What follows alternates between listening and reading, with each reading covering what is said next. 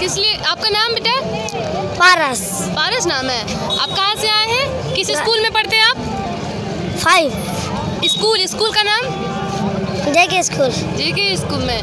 आप five class में हैं। आप यहाँ पे क्यों खड़े हैं? हाथ जो पकड़े हुए अपने दोस्तों का सड़क पे आप यहाँ पे क्यों खड़े हैं? मुझे पता नहीं। आपको पता नहीं? आपके टीचर ने आपको बताया नहीं आप क्यों खड़े हैं यहाँ पे?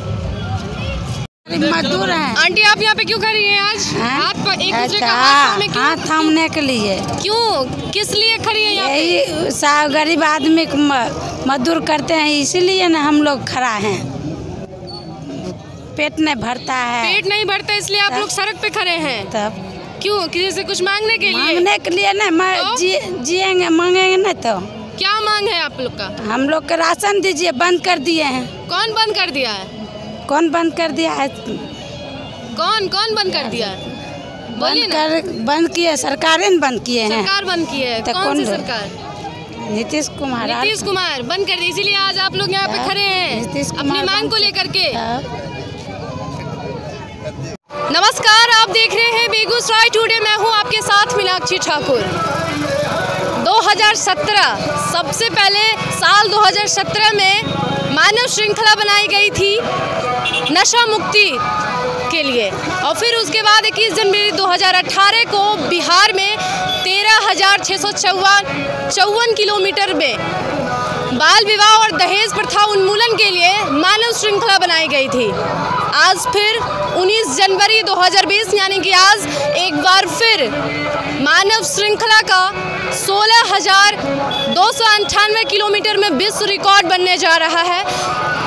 और इस मानव श्रृंखला को सफल बनाने के लिए बेगूसराय वासी भी चट्टानी एकता दिखाते हुए एक दूसरे का हाथ थामे, यहाँ पे खड़े हो चुके हैं।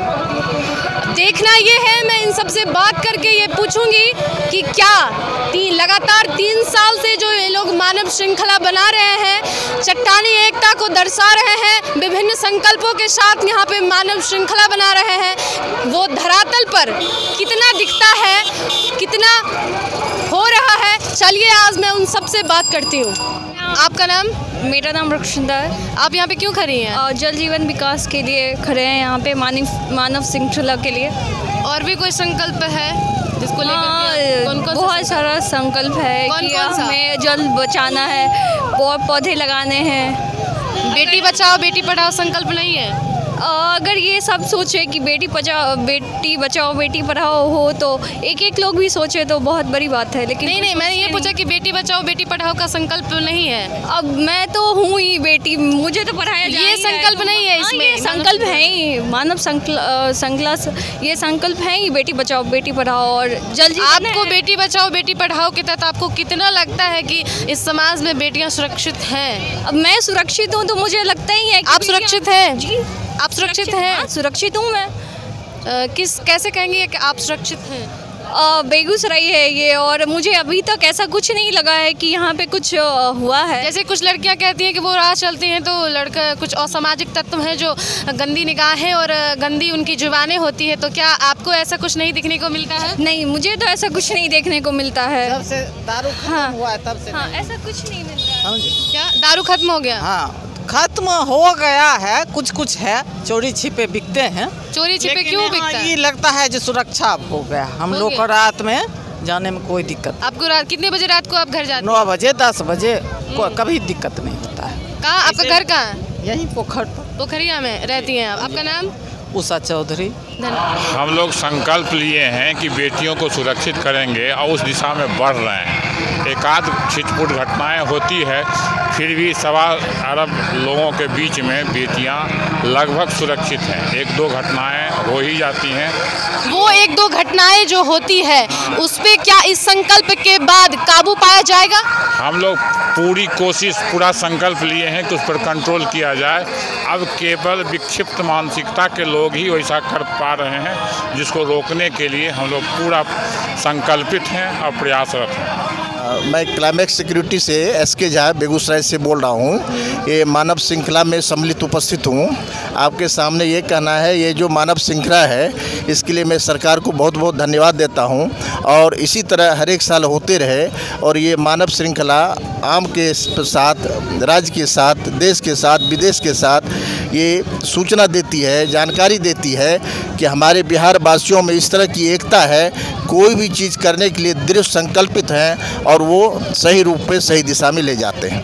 सर किन किन संकल्पों को लेकर के आज यहाँ पे आप संकल्पित होकर के ये हाथ एक दूसरे का हाथ थामे आप बच्चों का हाथ थामे खड़े हैं? हाँ देखिए जल जीवन और हरियाली का जो प्रोग्राम थोड़ा जल जीवन जो हरियाली का जो प्रोग्राम है जो एक नेशनल मूवमेंट के रूप में अब उभरता जा रहा है तो उसके समर्थन में हम लोग सभी खड़े हुए हैं और इसके अलावा बाल विवाह और दहेज प्रथा, इसका विरोध करना और शराबबंदी का समर्थन करना, इसके लिए लाखों लोग सड़कों पे खड़े हुए हैं, मानव श्रृंखला बनाकर और एक मैसेज जा रहा है। तो मेरे साथ जो बच्चे खड़े हुए हैं, इनसे मैंने बातचीत भी की तो इनके अंदर अपने मौलिक विचार पैदा हो रहे हैं। इनके अंदर है प्राणी की हमें पेड़ लगाना है जल बचाना है।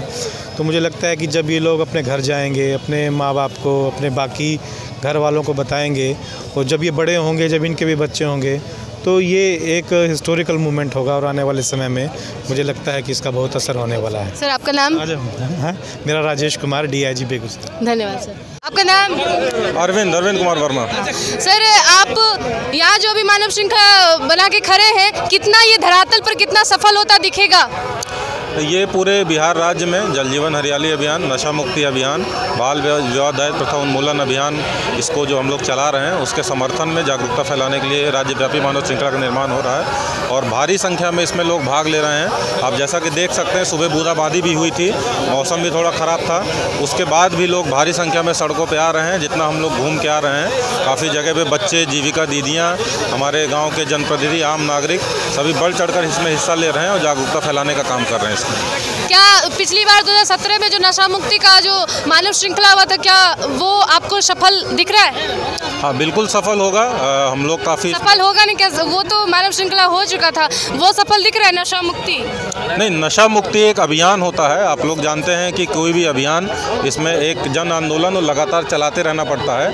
कोई ऐसा पॉइंट नहीं होता कि आज हम कहेंगे सफल होता है। कहीं न कहीं पे कानून बनने के बाद जब लोगों का समर्थन उसको मिलता है तब वो अभियान सफल होता है और एक ऐसा अभियान है जो लगातार चलाए जाने की ज़रूरत होती है।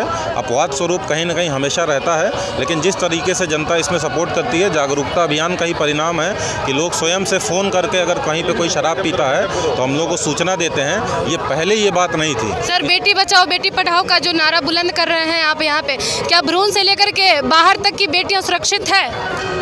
इसमें आप वही आपको बताना चाह रहे हैं, कानून जब बनाया जाता है, केवल वो पर्याप्त नहीं होता है। अभियान की सफलता हम लोग इसी से आंकते हैं कि जब पहले बाल विवाह होता था, दहेज प्रथा कहीं पर रहती थी तो लोग समाज में उसकी एक एक्सेप्टेबिलिटी होती थी, लोग उसका विरोध उतना नहीं करते थे। जागरूकता अभियान का परिणाम ये रहा है कि कहीं पर अगर बाल विवाह होता है तो हम लोगों को तुरंत सूचना आती है। यहाँ तक कि गाँव के लोगों में भी, आपस में ही लोग इसको बिना पुलिस को, बिना प्रशासन को खबर किए ही उस विवाह को नहीं होने देते हैं, लोगों को समझा देते हैं। तो इस अभियान की सफलता इसी से आंका जाना चाहिए कि किस तरीके से लोग जागरूक हुए हैं और समाज में किस तरीके से बाल विवाह और दहेज प्रथा के लिए एक्सेप्टेबिलिटी ख़त्म हो रही है। धन्यवाद। मानव श्रृंखला को सफल बनाने के लिए यहाँ खड़े हैं क्या इस सब का संकल्प क्या है? देखिए इसमें जो मुख्य मुद्दे हैं हमारा एक तो शराबबंदी जो अ, 2016 से ही चल रहा है बिहार राज्य में। उसके प्रति और जागरूकता पैदा करनी है। दूसरी दहेज प्रथा की जो कुरीति है उसके विरुद्ध है। तीसरा जो बाल विवाह की कुरीति है उसके विरुद्ध है। और चौथा जो अहम है आज के लिए जो इम्पोर्टेंट है जल जीवन और हरियाली मिशन जो माननीय मुख्यमंत्री जी ने शुरू किया है आने वाली पीढ़ी को हम कैसा वातावरण दे रहे हैं कैसा इन्वायरमेंट दे रहे हैं कितना शुद्ध जल और शुद्ध वातावरण हम उनके लिए छोड़ रहे हैं उसके लिए हम लोग आज संकल्प लेने के लिए आए हैं लोगों को जागरूक करने के लिए आए हैं। कितने लोग यहाँ पे हैं? देखिए गिनती तो अभी होगी देखा जाएगा लेकिन जो हम लोग घूम कर देखें काफ़ी उत्साह है लोगों में और लोग सड़कों पर आए हुए हैं इसमें। लगभग कितने? नहीं वो गिनती तो हम आपको नहीं बता पाएँगे वो आकलन होगा उसके बाद पता चलेगा। सर आपका नाम? अवकाश कुमार। धन्यवाद जल जीवन हरियाली के पक्ष में दहेज प्रथा बाल विवाह और सामाजिक कुरीतियों के खिलाफ आज जनता दल यू बेगूसराय के एक मिनट आपकी शादी हो रखी है? हाँ हाँ। शादी हो गई है? क्या आपने दहेज लिया था शादी में? बिल्कुल नहीं लिया था। इतना लेट क्यों लगा आपको? दहेज प्रथा का जो आप मानव श्रृंखला बना रखे हैं। संकल्प ले रखे हैं कि दहेज नहीं लेना क्या आप अपनी शादी में दहेज नहीं लिए थे। बिल्कुल नहीं। दहेज प्रथा के खिलाफ हम पहले भी थे आज भी हैं और आगे भी रहेंगे। आपके आ, आ, आपने जो दहेज नहीं लिया तो आपके समाज में आगे आपके बगल अगल बगल के जो भी थे वो उन वो आपसे कितना सीख लिए?